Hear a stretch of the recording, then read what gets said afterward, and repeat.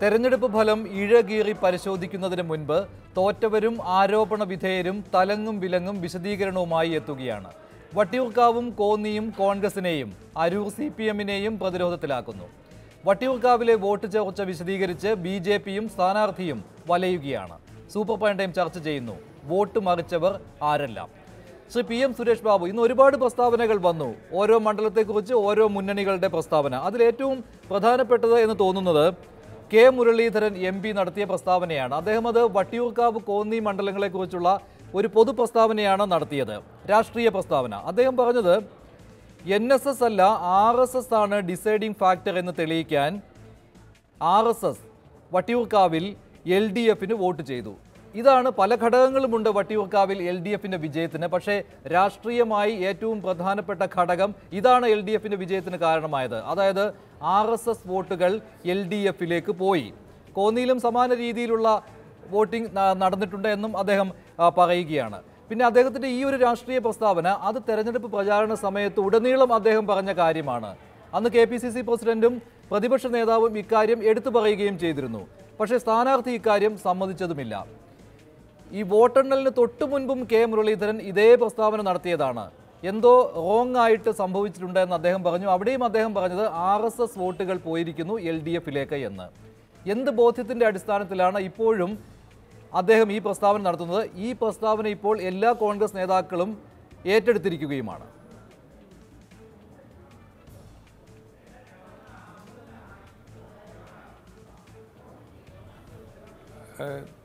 R S എസിന്റെ വോട്ടുകൾ R S S നിർണായക ശക്തിയാണെന്ന് തെളിയിക്കാനുള്ള രാഷ്ട്രീയ ശ്രമം എല്ലാ കാലഘട്ടത്തിലും കേരളത്തിന്റെ തെരഞ്ഞെടുപ്പ് രംഗത്ത് നമ്മൾ കണ്ടിട്ടുണ്ട്. പക്ഷേ ഈ കഴിഞ്ഞ ഒരു വർഷം ഒരു ദശകമായിട്ട് മാത്രമാണ് ആർ എസ് എസ് നിയന്ത്രിക്കുന്ന തരത്തിലുള്ള രാഷ്ട്രീയ പ്രവർത്തനത്തിലേക്ക് ബി ജെ പിയുടേതായാലോ അല്ലെ മറ്റിതര രാഷ്ട്രീയ സംഘടനകളുടേതായാലോ പ്രവർത്തനത്തെ നമുക്ക് വീക്ഷിക്കാൻ കഴിഞ്ഞിട്ടുള്ളത്.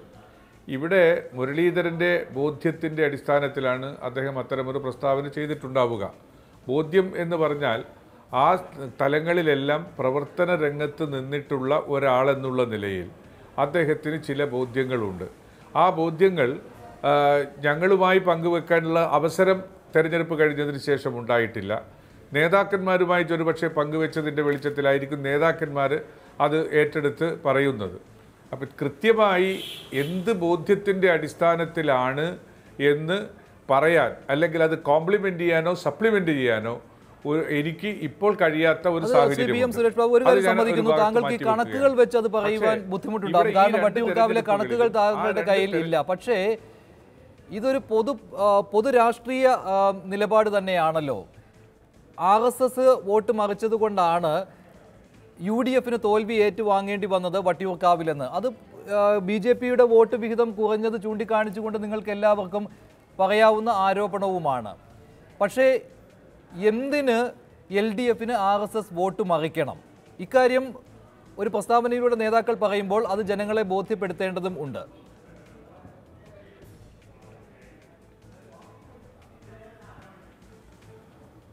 അല്ല അത് വളരെ വളരെ വ്യക്തമാണല്ലോ. ഇന്ത്യൻ രാഷ്ട്രീയത്തിൽ ആർ എസ് എസ് അതിന്റെ പൊളിറ്റിക്കൽ ഫേസായ ബി ജെ പി നേരിട്ട് ഏറ്റുമുട്ടുന്ന രാഷ്ട്രീയ പ്രസ്ഥാനം ഇന്ത്യൻ നാഷണൽ കോൺഗ്രസ് മാത്രമാണ്.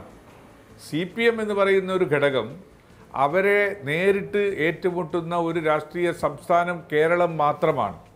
അത് അതാണെങ്കിൽ അവർക്കുള്ള പ്രവർത്തന രംഗത്തെ മുഖങ്ങളും പ്രവർത്തന രീതിയും ഒന്ന് തന്നെയാണ്. കൊലപാതകങ്ങൾ തടിപിടി സംഘടനം ഇതൊക്കെ ഈ രണ്ട് സംഖ്യകളും ഒരുമിച്ച് രണ്ട് കക്ഷികളും ഒരുമിച്ച് ഒരു- ഒരുമിച്ചെന്നല്ല ഒരുപോലെ അപ്പുറവും ഇപ്പുറവും പ്രവർത്തിക്കുന്നുണ്ട്. ഇന്ത്യൻ രാഷ്ട്രീയത്തെ നോക്കിക്കാണുന്ന ഒരു ഒരു രാഷ്ട്രീയ പ്രസ്ഥാനമോ അല്ലെങ്കിൽ ഒരു പ്രസ്ഥാനമോ ആണ് ആർ എസ് എസും ബി ജെ പിയും. ആ പ്രസ്ഥാനങ്ങൾക്ക് തകർക്കേണ്ടുന്നത് അല്ലെങ്കിൽ പരാജയപ്പെടുത്തേണ്ടുന്നത് ഇന്ത്യൻ നാഷണൽ കോൺഗ്രസിനെയാണ്. ആ കോൺഗ്രസിനെ പരാജയപ്പെടുത്താനുള്ള തന്ത്രം എന്ന നിലയിൽ ചിലയിടങ്ങളിൽ കോൺഗ്രസ് നേരത്തെ ഈ ഈ അസംബ്ലി മണ്ഡലം രൂപീകൃതമായത് മുതൽ തിരഞ്ഞെടുക്കപ്പെടുന്ന ഒരു രാഷ്ട്രീയ സംവിധാനത്തെ ഇല്ലായ്മ ചെയ്യാൻ. അത് അതല്ല ശക്തി അവിടുത്തെ നിന്ന് വരുത്തി തീർക്കേണ്ടുന്നത് ആർ എസ് എസിന് ഒരു രാഷ്ട്രീയമായ അല്ലെങ്കിൽ ബി ജെ പിക്ക് ഒരു രാഷ്ട്രീയമായ ലക്ഷ്യമുണ്ട്. പക്ഷേ ഇവിടെ ജയിക്കുന്നില്ല ഈ ഒരു ഘടകത്തെക്കാൾ ഈ ഒരു ഘടകത്തെക്കാൾ എൻ എസ് എസ് എന്ന ഘടകവുമായി എൻ എസ് എസ് എന്ന ഘടകവുമായി കൂട്ടി യോജിപ്പിച്ചുകൊണ്ട് പറയുവാനാണല്ലോ കോൺഗ്രസ് നേതാക്കൾ ഇഷ്ടപ്പെടുന്നത്. കെ മുരളീധരനും അത് തന്നെയാണ് എടുത്തു പറയുന്നത്. എൻ എസ് എസ് ശരിദൂരം പറഞ്ഞപ്പോൾ അത് യു ഡി എഫിന് അനുകൂലമായ നിലപാട് എന്ന് വ്യാഖ്യാനിക്കപ്പെട്ടു. അത് മാത്രമല്ല എൻ എസ് എസ് പരസ്യമായിട്ട് വട്ടിയൂർക്കാവിൽ വോട്ട് ചോദിച്ചു. അത് സമുദായം പറഞ്ഞ് വോട്ട് ചോദിച്ചു എന്നാണ്. അപ്പോൾ അവിടെ എൻ യു ഡി എഫ് ജയിച്ചു വന്നാൽ അതിന്റെ ക്രെഡിറ്റ് എൻ എസ് എസിന് പോകും. അങ്ങനെ പോകേണ്ട. അതുകൊണ്ട് ഞങ്ങൾ തന്നെയാണ് deciding factor. N S S അല്ല. എന്ന് കാണിക്കുന്നതിന് വേണ്ടി ആർ എസ് എസ് ആലോചിച്ചെടുത്ത ഒരു തീരുമാനം. ഈ രീതിയിൽ വ്യാഖ്യാനിക്കുവാനാണല്ലോ കോൺഗ്രസ് നേതാക്കൾ ഇഷ്ടപ്പെടുന്നത്. ഇന്ന് കെ മുരളീധരന്റെ വാക്കുകളും അതുതന്നെയാണ് സൂചിപ്പിക്കുന്നത്.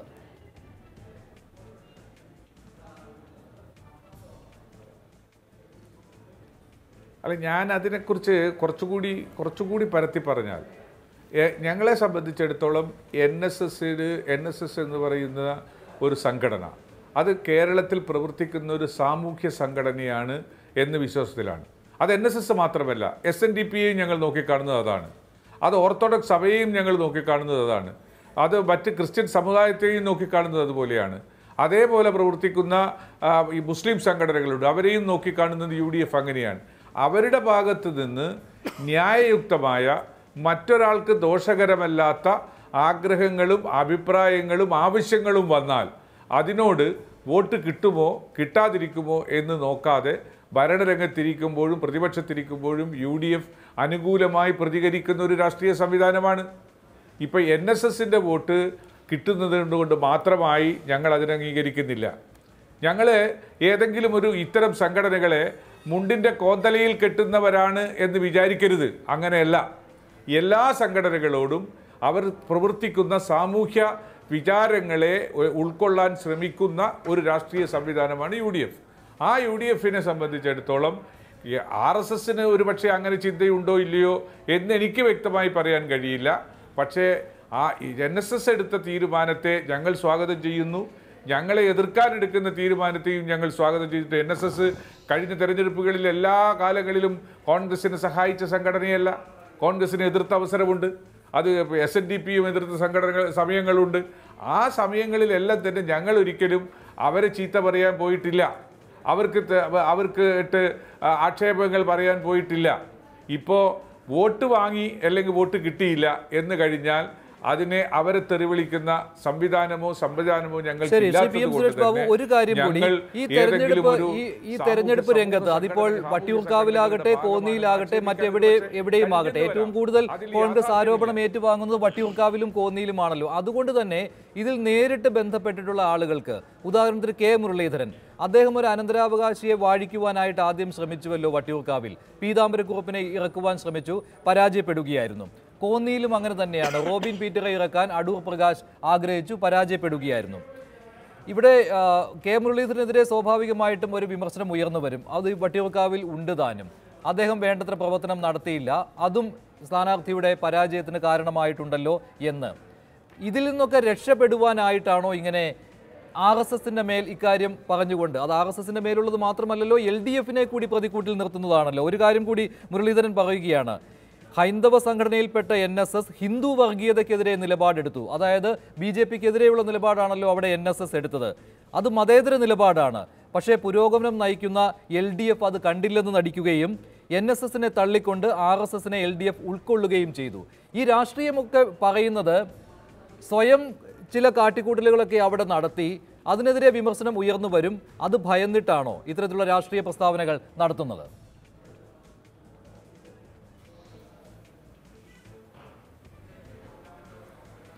അല്ല അതിലേക്ക് ഞാൻ വരാം. അതിന് മുമ്പേ ഒരു കാര്യം ഞാൻ പറഞ്ഞോട്ടെ.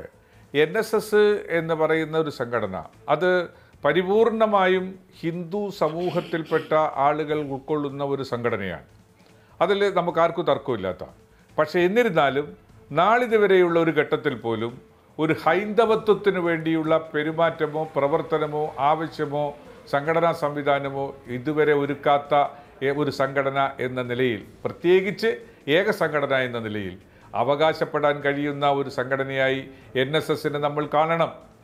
ഈ രാജ്യത്തിലെ മറ്റിതര സമൂഹത്തിനോടും സമുദായങ്ങളോടും ഒരുപോലെ സ്നേഹിക്കുന്ന ഒരു സമൂഹ ഒരു ഒരു രാഷ്ട്ര സംവിധാനത്തിന് വേണ്ടി നിലക്കൊള്ളുകയും ഒരു ഒരു പ്രത്യേക സമൂഹത്തിന് ഹൈന്ദവർ മാത്രം ഉൾക്കൊള്ളുന്ന സംഘടനയായിട്ട് പോലും ഒരു പ്രത്യേക സമൂഹത്തിന്റെ ഹൈ ഹിന്ദുത്വ എന്ന് പറയുന്ന ഒരു സമീപനത്തിനോട് പ്രത്യേകിച്ച് ഒരിക്കൽ പോലും മമത കാണിച്ചിട്ടില്ല എന്ന നിലയ്ക്ക് ശ്ലാഘനീയമായ അനുമോദനം അർഹിക്കുന്ന അഭിമാന പുരസരം അവരെ ശ്ലാഘിക്കേണ്ടുന്ന ഒരു സംഘടനയായി ഞാൻ അതിനെ ആമുഖമായി വിലയിരുത്തുകയാണ്. പിന്നീടൊരു കാര്യം മാധ്യമ ചർച്ചകളിലുള്ള ഒരു ആക്ഷേപമല്ലാതെ ഞങ്ങളുടെ നേതാക്കന്മാരെന്നുള്ള നിലയിൽ ശ്രീ കെ മുരളീധരനെതിരായിട്ടോ അല്ലെങ്കിൽ മറ്റാർക്കെങ്കിലും എതിരായിട്ടോ ഒരിടത്തും ഔദ്യോഗികമായ അല്ലെങ്കിൽ പാർട്ടി തലത്തിൽ ഇത്തരമൊരു ആക്ഷേപങ്ങളൊന്നും ഇതുവരെ ഉയർന്നു വന്നിട്ടില്ല. ആ ഉയർന്നു വരാത്ത ഒരു സംഗതിയെ ഉയർന്നു വരുമെന്ന ഭയത്തിൽ ചെറുക്കാനുള്ള ഉപാധിയായി ഇത്തരം പ്രസ്താവനകളെ മാധ്യമങ്ങൾ ആ രൂപത്തിൽ വളച്ചൊടിക്കരുത് അല്ലെങ്കിൽ അതിലേക്ക് കൊണ്ടുപോകുകയാണ് ശ്രീ പി എം സുരേഷ് ബാബു. അങ്ങനെ പറയരുത്. ഇന്നലെ വോട്ടെണ്ണ വോട്ടെണ്ണുന്ന സമയത്ത് പോലും ഒളിയമ്പുകൾ മാത്രമല്ല നേരിട്ടുള്ള ആക്രമണങ്ങൾ വരെ ഉണ്ടായിരുന്നു. വാക്ക് വാക്പോരുകൾ ഉണ്ടായിരുന്നു കോൺഗ്രസ് നേതൃത്വത്തിന് നേരെ. നേതാക്കന്മാരുടെ ഭാഗത്ത് നിന്ന്. Konni D C C president വോട്ടെണ്ണൽ കേന്ദ്രത്തിൽ നിന്നും ഇറങ്ങിപ്പോയതാണല്ലോ. കാലുവാരി എന്ന് പരസ്യമായിട്ട് അദ്ദേഹം പറഞ്ഞതാണല്ലോ. ഇന്ന് അടൂർ പ്രകാശിന്റെയും റോബിൻ പീറ്ററുടെയും ഒന്നും ഫോണുകൾ പോലും സ്വിച്ച് ഓഫ് ചെയ്ത നിലയിലാണ്. ഒരു പ്രതികരണത്തിന് പോലും അവർ തയ്യാറാകുന്നില്ല. അപ്പോൾ ആരോപണം മുന എങ്ങോട്ടാണ് വരുന്നതെന്ന് അവർക്കറിയാം. കെ മുരളീധരൻ ഇന്ന് അദ്ദേഹം തെരഞ്ഞെടുപ്പ് പ്രചാരണ സമയത്ത് ഉടനീളം പറഞ്ഞ കാര്യവുമായിട്ട് വീണ്ടും രംഗത്തെത്തിയിരിക്കുകയാണ്. എന്തായാലും അത് ഒരു രാഷ്ട്രീയമായ ഒരു ആരോപണമാണ്. അത് അതിന്റെതായ മെറിറ്റ് ഉണ്ട്. അതുകൊണ്ടാണ് ഞാൻ ചോദിച്ചത് എന്താണ് അതിന്റെ ബോധ്യമെന്ന്. ശ്രീ ജെ ആർ പത്മകുമാർ മിസോറാം ഗവർണറായി പി എസ് ശ്രീധരൻപിള്ളയെ നിയമിച്ചിരിക്കുന്നു എന്ന ബ്രേക്കിംഗ് വാർത്തയാണ് വന്നുകൊണ്ടിരിക്കുന്നത്. നേരത്തെ കുമ്മനത്തെ നിയമിച്ച അതേ പദവിയിലേക്ക് പി എസ് ശ്രീധരൻപിള്ള. എന്തായാലും അഭിനന്ദനം അർഹിക്കുകയാണ് അദ്ദേഹം. അല്പസമയത്തിനകം അതിന്റെ വിശദ വിവരങ്ങളുമായി അരുൺ ശങ്കർ ചേരും ഡൽഹിയിൽ നിന്ന് അതിനു മുൻപ് താങ്കളുടെ പ്രതികരണം എടുക്കുകയാണ്. എന്തായിരിക്കാം ഇതിന് പിന്നിൽ? വളരെ സന്തോഷകരമാണ്. കാര്യം രണ്ടാമതൊരാൾ ഭാരതീയ ജനതാ പാർട്ടിയുടെ നേതൃനിരയിലുള്ള രണ്ടാമതൊരാൾ കേരളത്തിൽ നിന്ന് ഗവർണറാകുന്നു എന്നുള്ളത് വളരെ സന്തോഷകരമായ കാര്യം തന്നെയാണ്. എല്ലാവിധ അഭിനന്ദനങ്ങളും ഈ അവസരത്തിൽ അദ്ദേഹത്തെ അറിയിക്കുകയാണ്. ഞങ്ങളുടെ പാർട്ടിക്ക് പാർട്ടിയുടെ കേരള ഘടകത്തിന് കിട്ടിയിട്ടുള്ള ഒരു അംഗീകാരമായിട്ട് തന്നെ കാണും. ഞങ്ങളുടെ സംഘടനാ തെരഞ്ഞെടുപ്പ് നടന്നുകൊണ്ടിരിക്കുന്ന സമയത്താണ് ഇത്തരത്തിലൊരു വാർത്ത വരുന്നത്. അതിന്റെ ആധികാരികത എനിക്കറിയില്ല. നിങ്ങൾ ഇപ്പോൾ സ്ക്രീനിൽ കാണിക്കുന്ന കാര്യങ്ങൾ ശരിയാണ് എന്നുണ്ടെങ്കിൽ വളരെ സന്തോഷകരമായൊരു കാര്യമാണ്. നേരത്തെ കുമ്മനം രാജേട്ടൻ ഗവർണറായി പോയിരുന്നു. അത് കഴിഞ്ഞിട്ട് ഇപ്പോൾ ശ്രീർല സാറ് പോകുന്നു എന്നുള്ളത് കേരള ഈ ഒരു സാഹചര്യം കൂടി മനസ്സിലാക്കണം. ഇപ്പോൾ ഉപതെരഞ്ഞെടുപ്പ് കഴിഞ്ഞ സമയം ബി ജെ പിക്ക് വലിയ രീതിയിലുള്ള വോട്ട് ചോർച്ച ഉണ്ടായ സമയം സംസ്ഥാന അധ്യക്ഷനായി പി എസ് ശ്രീധരൻപിള്ള ഇരിക്കുന്നു. ഒരുപാട് ആരോപണങ്ങൾ ഈ വോട്ട് ചോർച്ചയെക്കുറിച്ച് വരുന്നു. ഏറ്റവും ഒടുവിൽ വോട്ട് കച്ചവടം എന്ന് പറയുന്നില്ല. R S S vote L D എഫിന് മറിച്ചു എന്ന രീതിയിലുള്ള ആരോപണങ്ങൾ വരുന്നു. അതിനെ വോട്ട് വിഹിതം അതിന്റെ കണക്ക് പറഞ്ഞുകൊണ്ട് സമർത്ഥിക്കുവാനും കഴിയുന്നുണ്ട്. അല്ല അതിൽ വെറുതെ ഈ വോട്ട് കുറഞ്ഞു കുറഞ്ഞു ഒരു തിരുവനന്തപുരം നിയോജക മണ്ഡലത്തിൽ ഞാൻ ഒന്ന് ഇടപെടുകയാണ്. ഇപ്പോൾ ബസന്ത് ചേരുകയാണ് ഈ വാർത്തയുടെ വിശദാംശങ്ങളുമായി. ബസന്ത് എന്താണ് വിശദാംശങ്ങൾ? മഞ്ജുഷ അല്പസമയം മുമ്പാണ് രാഷ്ട്രപതി ഭവന്റെ കമ്മ്യൂണിക്കെ പുറത്തു വന്നിരിക്കുന്നത്. മിസോറാം ഗവർണറായി ബി ജെ പി സംസ്ഥാന അധ്യക്ഷൻ പി എസ് ശ്രീധരൻപിള്ളയെ നിയമിച്ചുകൊണ്ടുള്ള ഉത്തരവാണ് പുറത്തു വന്നിരിക്കുന്നത്. ഏറ്റവും സുപ്രധാനമായ ഒരു തീരുമാനം തന്നെയായി നമുക്കിത് കാണേണ്ടി വരുന്നു. മിസോറാമിൽ ഗവർണറാകുന്ന മൂന്നാമത്തെ മലയാളിയാണ് P S Sreedharan Pillai. B J പിയുടെ സംസ്ഥാന പ്രസിഡന്റ് സ്ഥാനത്ത് നിന്നും ഗവർണർ പദവിയിലെത്തുകയാണ് ശ്രീധരൻപിള്ള. നേരത്തെ കുമ്മനം രാജശേഖരന് സമാനമായ ഒരു സാഹചര്യത്തിലാണ് മിസോറാം ഗവർണറായത് എന്നുള്ളതാണ് ശ്രദ്ധേയം. അദ്ദേഹം അത് രാജിവെച്ചിട്ടാണ് കഴിഞ്ഞ ലോക്സഭാ തെരഞ്ഞെടുപ്പിൽ തിരുവനന്തപുരത്ത് മത്സരിച്ചത്. ഇപ്പോൾ പാർട്ടിയുടെ കേരളത്തിലെ പ്രകടനത്തിൽ കേന്ദ്ര നേതൃത്വത്തിന് എന്തെങ്കിലും അതൃപ്തി ഉണ്ടോ എന്നുള്ളതാണോ ഈ തീരുമാനത്തിന് പിറകിൽ എന്നുള്ളത് അറിയേണ്ട സമയമായിട്ടില്ല. അത് കുറച്ചുകൂടി കാത്തിരിക്കേണ്ടി വരുന്നു. പക്ഷേ എന്തായിരുന്നാലും തെരഞ്ഞെടുപ്പിലെ ഇത്ത ബൈ ഇലക്ഷനിലെ അല്ലെങ്കിൽ ഉപതെരഞ്ഞെടുപ്പിലെ പരാജയം കൂടി കണക്കിലെടുത്തുകൊണ്ടാണോ ഇത്തരത്തിലൊരു തീരുമാനം വന്നത് എന്നുകൂടി നോക്കേണ്ടിയിരിക്കുന്നു. ഏതായാലും ബി ജെ പി സംസ്ഥാന അധ്യക്ഷൻ പി എസ് ശ്രീധരൻപിള്ളയെ ഗവർണറായി നിയമിച്ചുകൊണ്ടുള്ള ഉത്തരവ് ഇപ്പോൾ പുറത്തു വന്നിരിക്കുകയാണ്. ഇന്ന് ഉച്ചയോടുകൂടി അദ്ദേഹം ഒരു വാർത്താ സമ്മേളനം പാർട്ടി അധ്യക്ഷൻ എന്നുള്ള നിലയ്ക്ക് നടത്തുകയും ബി ജെ പിയുടെ പ്രകടനത്തെ വിലയിരുത്തുകയും ചെയ്തിരുന്ന ഒരു സാഹചര്യം ഉണ്ടായിരുന്നു. അതിനെ തുടർന്നാണ് ഏതാനും മണിക്കൂറുകൾക്കുള്ളിൽ അദ്ദേഹത്തെ ഗവർണർ സ്ഥാനത്തേക്ക് മാറ്റിക്കൊണ്ടുള്ള തീരുമാനം കേന്ദ്ര ബി ജെ പി നേതൃത്വത്തിന്റെ ഭാഗത്തു നിന്നുണ്ടാകുകയും അത് സർക്കാരിന്റെ തീരുമാനമായി രാഷ്ട്രപതിയുടെ കമ്മ്യൂണിക്കയായി അല്പസമയം മുമ്പ് പുറത്തു വന്നിരിക്കുന്നത്. മറ്റ് സുപ്രധാനമായ രണ്ട് ഗവർണർ നിയമനങ്ങൾ കൂടി ഉണ്ടായിട്ടുണ്ട്. ഒന്ന് ഒക്ടോബർ ക്ഷമിക്കണം ഒക്ടോബർ മുപ്പത്തൊന്നിന് നിലവിൽ വരുന്ന ജമ്മു കാശ്മീർ സംസ്ഥാനത്തിന്റെ ഗവർണറായിട്ട് ലഫ്റ്റനന്റ് ഗവർണറെയും അതുപോലെ തന്നെ ലഡാക്കിന്റെ ലഫ്റ്റനന്റ് ഗവർണറെയും നിയമിച്ചുകൊണ്ടുള്ള ഉത്തരവും രാഷ്ട്രപതി പുറപ്പെടുവിച്ചിട്ടുണ്ട്. നിലവിലുള്ള ഗവർണർ സത്യപാൽ മാലിക്കിനെ അതായത് ജമ്മു കാശ്മീർ ഗവർണർ സത്യപാൽ മാലിക്കിനെ ഗോവ ഗവർണറായി മാറ്റിക്കൊണ്ടുള്ള ഉത്തരവാണ് പുറത്തു വന്നിരിക്കുന്നത്. അതോടൊപ്പം തന്നെ ജമ്മു കാശ്മീരിന്റെ ലെഫ്റ്റനന്റ് ഗവർണറായി ഗിരീഷ് ചന്ദ്ര മുർമുവിനെയാണ് നിയമിച്ചിരിക്കുന്നത്. അതായത് പുതിയതായി നിലവിൽ വരുന്ന ജമ്മു കാശ്മീർ സംസ്ഥാനത്തിന്റെ ഗവർണറായി. അതായത് നേരത്തെ നിലവിലുണ്ടായിരുന്ന ജമ്മു കാശ്മീർ രണ്ട് മൂന്നായി വിഭജിച്ചുകൊണ്ടുള്ള രണ്ടായി വിഭജിച്ചുകൊണ്ടുള്ള തീരുമാനത്തിന്റെ ഭാഗമായി ആണ് ഇപ്പോൾ മുർമുവിനെ ജമ്മു കാശ്മീർ നിയമ സംസ്ഥാനത്തിന്റെ ലെഫ്റ്റനന്റ് ഗവർണറായി നിയമിച്ചുകൊണ്ടുള്ള ഉത്തരവ് പുറത്തു വന്നിരിക്കുന്നത്. മഞ്ജുഷ്.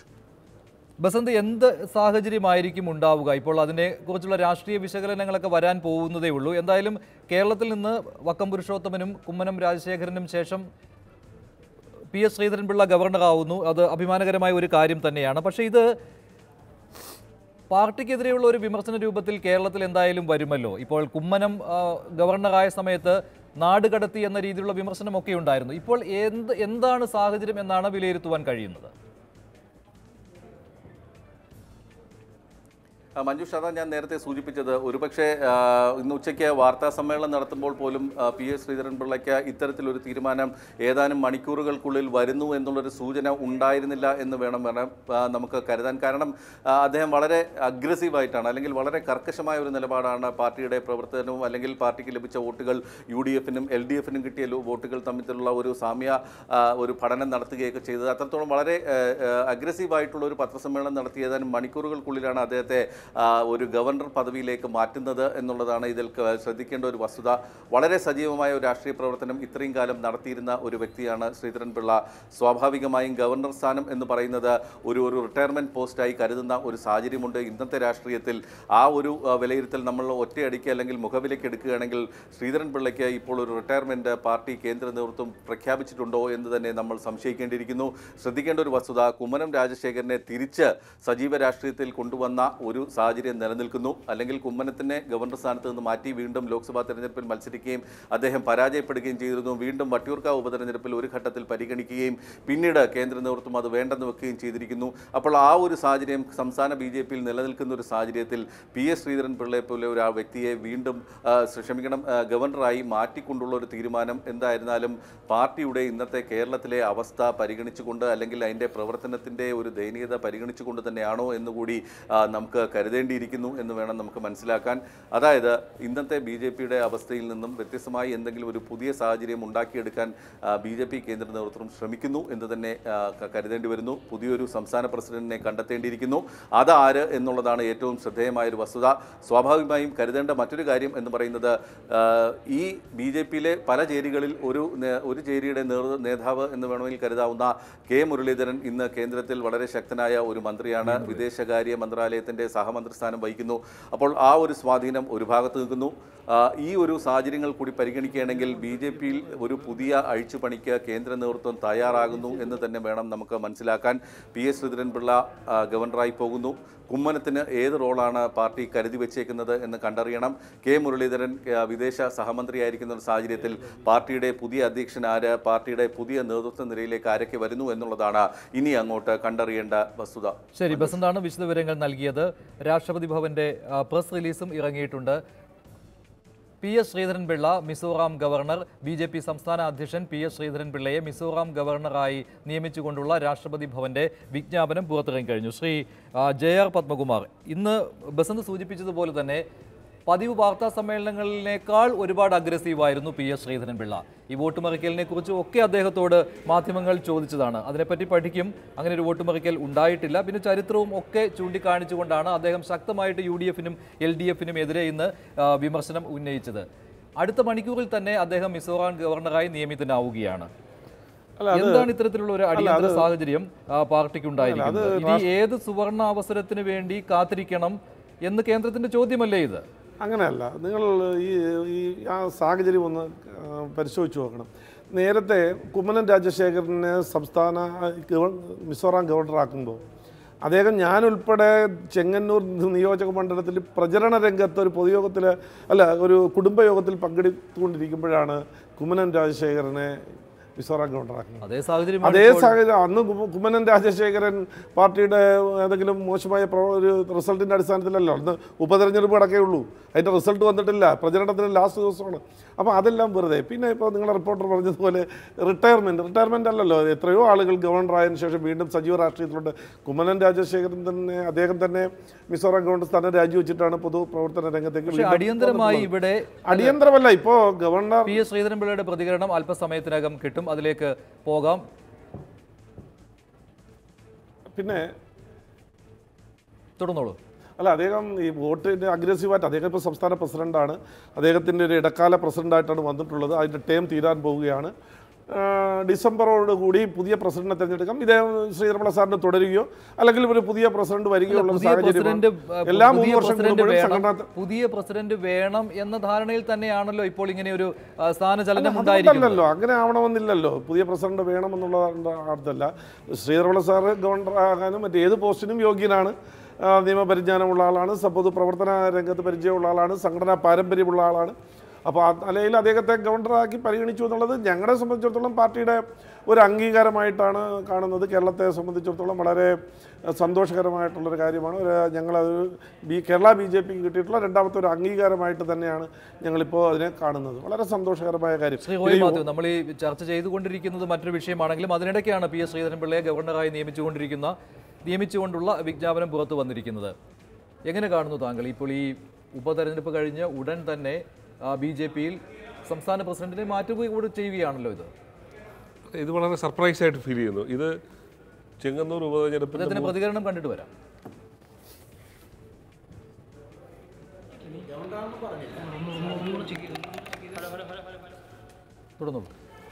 ചെങ്ങന്നൂർ ഉപതെരഞ്ഞെടുപ്പിന്റെ മൂർധന്യത്തിൽ അന്നത്തെ സ്റ്റേ- സംസ്ഥാന പ്രസിഡന്റ്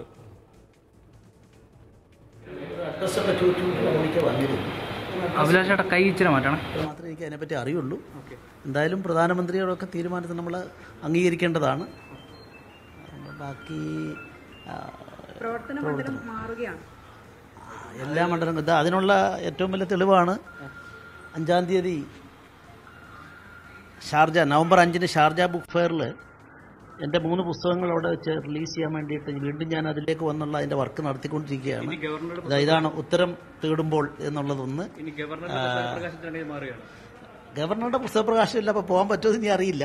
എന്ന് എന്നാണ് നമ്മൾ ചുമതല എടുക്കേണ്ടത് ഏറ്റെടുക്കേണ്ടത്? അതറിയില്ല അതിന്റെ ഡീറ്റെയിൽസ് ഒന്നും വന്നിട്ടില്ല. ഡീറ്റെയിൽസ് വന്നിട്ടില്ല. ഈ പദവി എങ്ങനെ നോക്കി കാണുന്നു എല്ലാം നല്ലതിന്. അതായത് ദീർഘകാലത്തെ രാഷ്ട്രീയ പ്രവർത്തനം. എന്റെ എന്റെ രാഷ്ട്രീയ ജീവിതത്തിൽ വീണ്ടും ഒരിക്കൽ കൂടി ആവർത്തിച്ച് പറയുന്നു. പാർട്ടി തലത്തിലൊരു പോസ്റ്റിന് വേണ്ടിയോ കാൻഡിഡേറ്റ് ആകാൻ വേണ്ടിയോ ഇന്നുവരെ ആരോടും ഞാൻ ആവശ്യപ്പെട്ടിട്ടില്ല. ഗവർണർ പദവിക്ക് വേണ്ടിയുള്ള പ്രപ്പോസൽ മുമ്പും അയച്ചതായി വളരെ ഈ ക്യാബിനറ്റ് വന്നപ്പോൾ തന്നെ അയച്ചതായി എനിക്കറിയാം. അതൊക്കെ അതിനെ സംബന്ധിച്ചിടത്തോളം ഒക്കെ ഒരിക്കലും ഞാൻ ശ്രമം നടത്തിയിട്ടില്ല. അപ്പോൾ ഇത് വരുന്ന കാര്യങ്ങളെല്ലാം പൊതുസേവന ജനങ്ങൾക്ക് വേണ്ടിയുള്ള സേവനമാണ് രാജ്യ രാജനൈതിക രംഗമായാലും പൊതുപ്രവർത്തനമായാലും.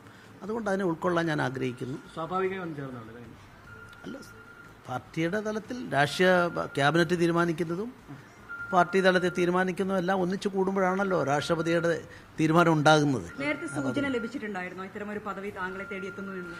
പദവി എന്താണെന്ന് എനിക്കറിയില്ല. ഞാൻ പറഞ്ഞില്ലേ ബഹുമാനപ്പെട്ട പ്രൈം മിനിസ്റ്റർ നാല് ദിവസം മുമ്പ് എന്നെ വിളിച്ച് എല്ലാ കാര്യങ്ങളും കാര്യങ്ങളൊക്കെ ചോദിച്ചിരുന്നു. കുമ്മനം രാജശേഖരന് ശേഷം ആണ് ഈ ഒരു പദവിയിലേക്ക് വീണ്ടും ഒരു മലയാളി എത്തുന്നത്. എങ്ങനെയാണ് ഇതിനെ കാണുന്നത്? പദവി മലയാളികൾ ഇതിനു മുമ്പ് അതിനു മുമ്പ് ഇരുന്നിട്ടുണ്ടല്ലോ മലയാളികൾ ഏറെ മലയാളികൾ ഇരുന്നിട്ടുണ്ട്. അപ്പോൾ അതിനെ സംബന്ധിച്ചിടത്തോളം എനിക്ക് വാസ്തവത്തിൽ രാജ ഇപ്പോൾ രാഷ്ട്രീയ പ്രവർത്തനം തുടങ്ങിയ ശേഷം ഞാൻ എഴുത്തും വായനയും ഒന്നുമില്ല. മറ്റതിലൊക്കെ എഴുത്തും വായനയും കോടതിയും ഒക്കെ ആയിട്ട് കഴിയുന്ന ഒരാളാണ്. അപ്പോൾ ആ നിലയ്ക്ക് അവിടെ ഒരു പ്രത്യേക സംസ്ഥാനമാണ്. രണ്ട് ഡിസ്ട്രിക്റ്റ് നേരിട്ട് തന്നെ ഗവർണർ ഭരിക്കുന്ന ഒരു സംസ്ഥാനമാണ്. അപ്പോൾ നേരിട്ട് ഭരണ കാര്യങ്ങളൊക്കെ ചെയ്യേണ്ടി വരും. ഞാൻ അതിലൊന്നും പരിചയസമ്പന്നല്ല എന്നുള്ളത് മാത്രമേ ഉള്ളൂ. പൂർണമായും സന്തോഷത്തോടെ ഏറ്റെടുക്കുന്നു.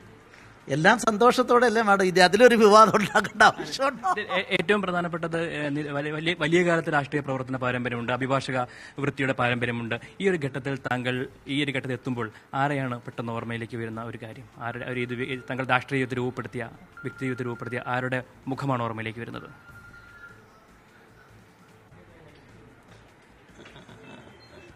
രാഷ്ട്രീയ ജീവിതത്തിൽ ആദ്യത്തിൽ എന്റെ ബാല്യകാലത്തിൽ എന്റെ അച്ഛൻ ഗ്രാമത്തിൽ ഞാൻ ജനിച്ച ഗ്രാമത്തിൽ അന്നത്തെ പ്രജാ സോഷ്യലിസ്റ്റ് പാർട്ടിയുടെ പ്രാദേശിക സെക്രട്ടറിയായിരുന്നു. പിന്നുള്ള എന്റെ പ്രവർത്തനങ്ങളെല്ലാം സ്കൂൾ തലം തൊട്ട് വിദ്യാർത്ഥി പരിഷത്തിനോടും ആർ എസ് എസിനോടും സംഘപരിവാർ പ്രസ്ഥാനങ്ങളോടും ഭാരതീയ ജനസംഘത്തോടും അതിനുശേഷം ബി ജെ പി രൂപീകരിക്കുന്ന നാൾ മുതൽ ബി ജെ ഒക്കെ ബന്ധപ്പെട്ടുള്ള പ്രവർത്തനമാണ്. സ്വാഭാവികമായിട്ടും അതെല്ലാം തത്വാധിഷ്ഠമായ നിലപാടിൽ കൊണ്ടുപോകാൻ ശ്രമിച്ചിട്ടുണ്ട്. ഒരിക്കലും പാർട്ടിയുടെ ചട്ടക്കൂട് ലംഘിച്ചിട്ടില്ല. ആ വേലിക്കെട്ടിനപ്പുറത്തേക്ക് ചടിയിട്ടില്ല. പക്ഷെ ഒരിക്കലും ഒരു പ്രസ്ഥാനത്തിന്റെ ചട്ടക്കൂട്ടിൽ ഒതുങ്ങി നിൽക്കാനും സാധിച്ചിട്ടില്ല. അപ്പോൾ അതുകൊണ്ട് ഇത് രണ്ടും ചട്ടക്കൂട് ലംഘിച്ചിട്ടില്ല. ചട്ടക്കൂടിനപ്പുറത്തേക്ക് പോകാനുള്ള ശ്രമം പലപ്പോഴും നടത്തിയിട്ടുണ്ട്. അപ്പോൾ ഗവർണർ പദവി ആകുമ്പോൾ വിശാലമായ ഒരു ഒരു ഈ പറഞ്ഞ പോലെ നേരിട്ട് ഭരണമുള്ള ഏരിയകളുള്ളത് കൊണ്ട് ജനസേവനത്തിനുള്ള കൂടുതൽ നല്ല ഉപാധിയായി ഞാൻ കാണുകയാണ്. ഉപതെരഞ്ഞെടുപ്പിന് മുമ്പേ താങ്കൾക്ക് ഇത്തരം ഒരു പദവി ലഭിക്കുന്നുള്ള സൂചന ലഭിച്ചിട്ടുണ്ടായിരുന്നു. തീർച്ചയായിട്ടും. ഈ ഒരു രാഷ്ട്രീയ ചോദ്യം ചോദിക്കട്ടെ? അങ്ങയുടെ പിന്തുടർച്ചാവകാശിയായി ബി ജെ പിയുടെ സംസ്ഥാന പ്രസിഡന്റ് ആരായിരിക്കും? ഈ പോസ്റ്റ് എന്നുള്ള എനിക്ക് കിട്ടിയിരുന്നില്ല. കേരളത്തിന് പുറത്തേക്ക് പോയി പ്രവർത്തിക്കാൻ സാധിക്കുമോ എന്നുള്ള കാര്യം ബഹുമാന ബഹുമാനപ്പെട്ട പ- പ്രൈം മിനിസ്റ്ററിനോട് ചോദിച്ച് ഞങ്ങൾ നമ്മൾ ചർച്ച ചെയ്ത് പറഞ്ഞിട്ടുണ്ട്. ആരായിരിക്കും അടുത്ത ബി ജെ പി പ്രസിഡന്റ്? രാജനൈതിക രംഗത്തെ ചക്രം മുന്നോട്ടങ്ങനെ പോയിക്കൊണ്ടിരിക്കും. അതൊരു ഒരു കാലദേശങ്ങളെ അതിജീവിച്ച് പോകുന്നതല്ലേ? അതിൽ ഞാനൊരു നിമിത്തം ഒരിക്കലായി അത്രമാത്രം താങ്ക് യു ശരി ശ്രീ റോയ് മാത്യു എന്ത് എന്തുകൊണ്ട് താങ്കൾ ഇതിനെ അത്ഭുതപ്പെടുന്ന ഒരു തീരുമാനമായിട്ട് കാണുന്നു? അല്ല ഇത് പാർട്ടി അവർ ബി ജെ പി ഏത് തരത്തിലാണ് ഇതിനെ കണ്ടു എന്നുള്ളത് നമുക്ക് അറിഞ്ഞുകൂടാ. പക്ഷേ ഒരു കാര്യം പാർട്ടി നേതൃത്വത്തെ ചൊടിപ്പിച്ചിട്ടുണ്ടാവാം. ഇവരുടെ കൊടുത്ത മാൻഡേറ്റ് എന്തായിരുന്നു? ഇദ്ദേഹത്തെ കൊണ്ടുവരുമ്പോൾ ഉണ്ടായിരുന്നു. ഈ പാർട്ടിയെ റീവൈറ്റലൈസ് ചെയ്ത് ലോക്സഭാ തെരഞ്ഞെടുപ്പ് ഇദ്ദേഹത്തിന്റെ നേതൃത്വത്തിൽ നടന്നു. ഇപ്പോൾ ഇത് വരുന്നു. റിസൾട്ട് ഉണ്ടാകുന്നില്ല എന്നുള്ളത് അവരെ അമ്പരപ്പിക്കുന്നുണ്ടാവാം. ഇല്ലേ? കേരളത്തിലേക്ക് ഇത്ര വലിയ രാഷ്ട്രീയ സ്വാധീനങ്ങൾ അതിനുള്ള സാഹചര്യങ്ങൾ ഒരുക്കി കൊടുക്കുന്നു. എന്നിട്ടും എന്തുകൊണ്ട് എത്താൻ പറ്റുന്നില്ല. ഈ നേതൃത്വത്തിന്റെ കുഴപ്പമാണോ? ഇത് ഇത് പണ്ട് കാലങ്ങളിൽ കോൺഗ്രസും പരീക്ഷിച്ചുകൊണ്ടിരുന്നതാണ്. റിസൾട്ട് ഇല്ലാതെ വരുമ്പം നേരത്തെ ഗവർണർ സ്ഥാനത്തേക്ക് ആൾക്കാരെ മാറ്റിവിടുക എന്നുള്ള സംഭവം. അപ്പോൾ അതൊരു പക്ഷേ കേന്ദ്ര നേതൃത്വം ആ ലെവലിൽ ചിന്തിക്കുന്നുണ്ടാവാം. ഞാൻ കാണുന്ന ഒരു കാര്യം എന്ന് പറഞ്ഞാൽ പെർഫോമൻസ് ഇല്ലായ്മ എന്നുള്ളത് ഒരു പക്ഷേ കോൺഗ്രസ് ബി ജെ പിയുടെ നേതൃത്വത്തെ ആ തരത്തിൽ ചിന്തിച്ചിട്ടുണ്ടാവാം. അപ്പോൾ ഒരു ഓണറബിൾ എക്സിറ്റ് എന്നുള്ള നിലയിൽ ഇത്രയും സീനിയറായ ഒരാളെ ഒരു മാറ്റേണ്ട ഒരു സാഹചര്യം വന്നതാവാം. ഇനി ഒരു പുതിയ നേതൃത്വത്തെ കാരണം എപ്പോഴും രാഷ്ട്രീയത്തിനകത്ത് കോൺഗ്രസ് അല്ല ബി ജെ പിയുടെ നേതൃത്വത്തിനകത്ത് ഒരു പരീക്ഷണം നടത്തുന്നതിനകത്ത് അത് അവരുടെ സ്വാതന്ത്ര്യത്തിന്റെ ഭാഗമാണ്. ഞാൻ കരുതുന്നത് ഈ തെരഞ്ഞെടുപ്പുകളിൽ ഉണ്ടായ ഒരു റിസൾട്ട് ഇല്ലായ്മ ഒരു പക്ഷെങ്കിൽ ആ നേതൃത്വത്തെ ആ- തരത്തിൽ ചിന്തിച്ചിട്ടുണ്ടാവാം. അപ്പം ഒരു ഒരു ഇനിയിപ്പോൾ ഒരു അവസരം പത്മകുമാർ പറഞ്ഞ പോലെ ടേം തീരാൻ പോകുന്നു. പിന്നെ ഈ ആരോപണങ്ങൾ ഇങ്ങനെ എയറിൽ നിൽക്കുകയാണ്. അത് അതിന്റെ സാധ്യതകൾ ഇപ്പോഴും തീർന്നിട്ടില്ല. പ്രത്യേകിച്ച് രണ്ടാം സ്ഥാനത്ത് വന്നിടത്ത് പോലും ഈ തരത്തിൽ നിൽക്കുന്നു. അപ്പോൾ അത് പാർട്ടി കാരണം ഒരു തരത്തിൽ പോലും ആ പാർട്ടി മുന്നോട്ട് പോകുന്നില്ല എന്നുള്ളതായിരിക്കാം അവരുടെ വിലയിരുത്തൽ. അതിന്റെ ഭാഗമായിട്ട് വോട്ടുകൾ പോലും ഉറപ്പിക്കുവാനായിട്ട് കഴിഞ്ഞില്ല. കഴിഞ്ഞില്ല എന്നുള്ള- വോട്ട് മറിച്ച ആരോപണം എൽ ഡി എഫ് ഇതെല്ലാം നിൽക്കുകയാണ് അപ്പോൾ അത് ആ ഒരു സാഹചര്യം നിൽക്കുമ്പോൾ പെർഫോം ചെയ്യാത്ത ഇപ്പോൾ ഏതൊരു പാർട്ടിയിലും പെർഫോം ചെയ്യാതെ വരുമ്പോഴാണല്ലോ നിങ്ങളെ ഷണ്ട് ചെയ്യുകയോ പിന്നെ അത്ര ഒരു സീനിയറായ ഒരാളെ ഈ പാർട്ടിയുടെ ഉത്ഭവം മുതൽ ഈ പാർട്ടിയുടെ നേതൃത്വത്തിൽ ഉണ്ടായിരുന്ന ഒരാളെന്നുള്ള അദ്ദേഹത്തെ ഒരു മാന്യമായ രീതിയിലേക്ക് അവരെ പാർട്ടി അക്കോമഡേറ്റ് ചെയ്തു എന്നുള്ളത് ഒരു കാണേണ്ട ഒരു കാര്യമാണ്. പക്ഷേ ഇത് ഞാൻ കാണുന്ന ഒരു ഒരു രാഷ്ട്രീയത്തിനകത്ത് നമ്മൾ കാണേണ്ട ഒരു കാര്യം പെർഫോമൻസ് ഇല്ലായ്മ തന്നെയാണ് ഇതിനകത്ത് ഒരു ഒരു ഘടകമായിട്ട് ഒരു പക്ഷേ അവിടുത്തെ നേതൃത്വം വിലയിരുത്തിയിരിക്കുന്നത്. ക്യുക്ക് റെസ്പോൺസ് പ്രതീക്ഷിക്കുന്ന മറ്റ് സംസ്ഥാനങ്ങളെ പോലെ തന്നെ പ്രതി പ്രതി ഉദ്ദേശിച്ച ഫലം കിട്ടാതെ വരുമ്പോൾ ഉണ്ടാകുന്ന സ്വാഭാവികമായ ഒരു മാറ്റം എന്നുള്ളതിൽ ഇതിനെ കരുതിയാൽ മതി. അപ്പോൾ വീണ്ടും വീണ്ടും പല പരീക്ഷണങ്ങളിലേക്കായിരിക്കാം ഈ പാർട്ടി പോകുന്നത്. ഇതൊരു ഗുരുതരമായ ആരോപണമാണ് അത് നിലനിൽക്കുന്നത്. ഇപ്പോൾ പാർട്ടിയുടെ വോട്ട് ചോർച്ചയിൽ ഇതിനകത്ത് ഒരു ഒരു ബലിയാടിനെ എപ്പോഴും കണ്ടെത്തണമല്ലോ നേതൃത്വത്തിന് എപ്പോഴും അപ്പോൾ അത് അത്തരത്തിലൊരു പക്ഷെങ്കിൽ ഞാൻ ഞാൻ- അദ്ദേഹം അത്ര വലിയ സന്തോഷം അദ്ദേഹത്തിന്റെ മുഖത്ത് ഫീൽ ചെയ്യുന്നില്ല. ഒട്ടുമില്ല. ഒട്ടുമില്ല. അപ്പോൾ അത് അത് അതിന്റെ ബോഡി ലാംഗ്വേജ് ഒക്കെ അതാണ് സൂചിപ്പിക്കുന്നത്. ഒരു അൺഎക്സ്പെക്റ്റഡ് സമയത്ത് അദ്ദേഹത്തിനോട് അദ്ദേഹത്തിനെ ഇങ്ങനെ ഷണ്ട് ചെയ്ത് മാറ്റി എന്നുള്ളത് ആ ഒരു ഫീലിംഗ് അദ്ദേഹത്തിന്റെ മുഖത്ത് കാണാനുണ്ട് ഇനി ഒരു പക്ഷേ അത് അതിനകത്ത് ഒന്ന് റിക്കവർ ചെയ്ത് വരെ വന്നേക്കാം. പക്ഷേ ഇതൊരു കാര്യം ഉറപ്പാണ്. ഇപ്പോൾ അമിത്ഷായെ പോലെ അല്ലെങ്കിൽ മോദിയെ പോലെ ഒരാൾ പാർട്ടിയുടെ നേതൃത്വത്തിലിരിക്കുമ്പോൾ അവർ പെർഫോമൻസ് പ്രതീക്ഷിക്കുന്നുണ്ടാവാം. അപ്പോൾ അതുകൊണ്ട് തന്നെയാണ് ഈ ഇങ്ങനൊരു തീരുമാനമെടുത്തെന്ന് കരുതുന്നുണ്ട്. കാരണം ഇതൊരു ആ പാർട്ടി നേരിടുന്ന ഒരു ഗുരുതരമായ ആരോപണമാണ് ഈ വോട്ട് മറിക്കൽ എന്ന് പറയുന്നത്. ഇത് ഈ ബി ജെ പിയുടെ എല്ലാ എല്ലാ കാലത്തും ഉണ്ടായിരുന്ന പക്ഷേ അതിനൊക്കെ അപ്പുറത്തായിട്ട് ബി ജെ പി ഇപ്പോൾ തുടരെ തുടരെ കേന്ദ്രം ഭരിക്കുന്ന ഒരു സാഹചര്യത്തിൽ പോലും ഇതിനൊരു മാറ്റം വരുന്നില്ല എന്നുള്ളതായിരിക്കും ഒരു പക്ഷെങ്കിൽ അവരെ അമ്പരപ്പിച്ചിട്ടുണ്ടാവാം. അതുകൊണ്ട് തന്നെ ആയിരിക്കാം ഇത്ര ഇത്ര വളരെ പെട്ടെന്ന് ഷാർപ്പായിട്ടൊരു തീരുമാനം അവർ സ്വീകരിച്ചു ഞാൻ ഇടപെടുകയാണ് ശ്രീ റോയ് മാത്യു. പി എസ് ശ്രീധരൻപിള്ള മിസോറാം ഗവർണറായിരിക്കുകയാണ്. രാഷ്ട്രപതി ഭവന്റെ വിജ്ഞാപനം പുറത്തിറങ്ങി. ഇടവേളയ്ക്ക് ശേഷം തിരികെ എത്താം.